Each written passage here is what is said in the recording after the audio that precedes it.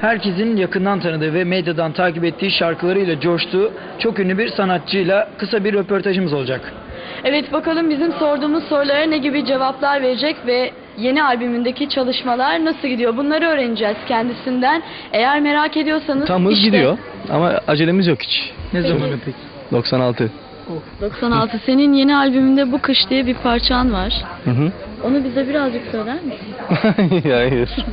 Seslerim Ee, şu an çok kötüyüm. vallahi. Söylerim biraz sonra. Tamam. Ama Zaten sana, Peki, e, kısacık bir şey söyle. Sanat müziğinden bir parça da söyletmek istiyoruz biz. Ha, konser vereyim olmuşken olur mu? Şey, yok. Bir Sen- tane seçin. Tamam bu kışı söyle. Tamam yeni albüm olsun. Sen tut ben söyleyeyim. Tamam. ama şimdiden çıkardım bunu. Kısacık ama. tamam kısacık söyle.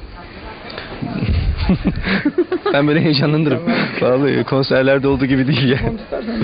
Yok ben böyle söylerim. Nereden alacağız sesi? Her yerden Hayır, Peki. Bana bakmayın oraya bakın bakayım siz de.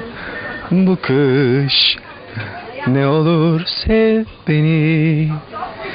Geçen yıllar mevsimler feda sana ama yoruldum.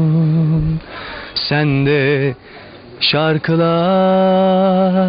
söyle bana. Bu kış ne olur iste beni. Erteleme sevgimi dokun sarıl hisset. Duy feryadımı